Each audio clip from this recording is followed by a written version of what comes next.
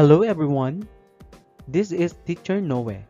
In this video lesson, I'll be discussing the third type of chemical reaction which is the single replacement or single displacement reaction.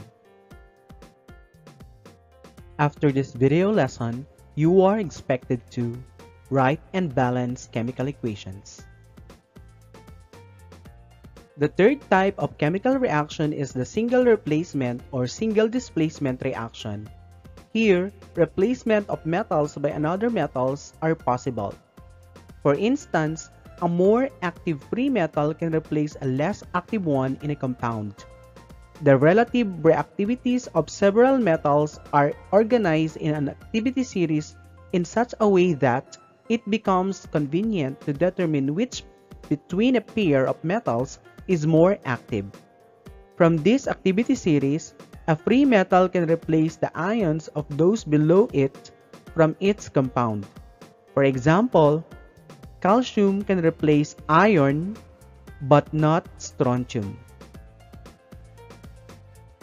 Replacement of hydrogen in water by a metal is also possible. Notice that H2 is highlighted in the series. This is because it is the only non-metal listed in the series. All metals above H are more active and can therefore replace H in acidic compounds. Those below it cannot replace H in an acidic compounds. A non-metal can also replace another non-metal in a compound like the replacement of halogens by more active halogens.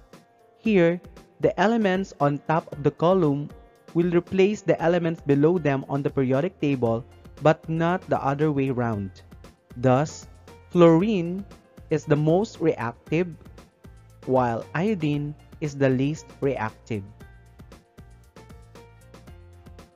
The single replacement reaction has the following general equations. The first equation is A plus BC yields AC plus B or AB plus C yields AC plus B. Let's have some examples. In a reaction of sodium chloride and fluorine, fluorine can replace halogen chlorine forming the products sodium chloride plus chlorine.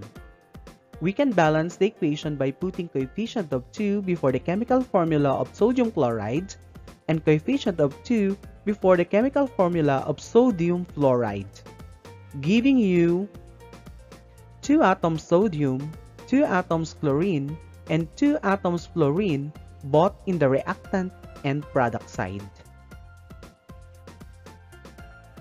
In a reaction of aluminum and copper 2 nitrate, aluminum can replace copper since aluminum is more reactive than copper forming the products aluminum nitrate plus copper. We can balance the equation by putting coefficient of 3 before the chemical formula of copper 2 nitrate and coefficient of 2 before the chemical formula of aluminum nitrate to balance atoms of oxygen with 18 atoms both on the reactant and product side and giving you 6 atoms of nitrogen both on the reactant and product side.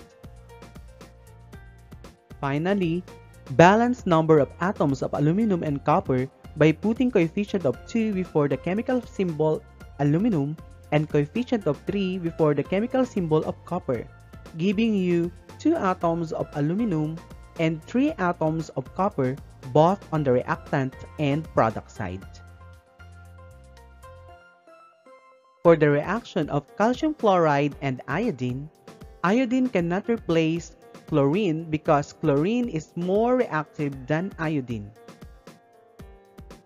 Thus, no reaction will take place.